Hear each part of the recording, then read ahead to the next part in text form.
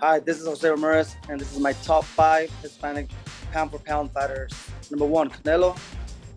Number two, I'll say Ch- Chavez.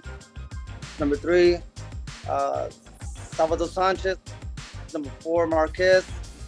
Number five, Morales.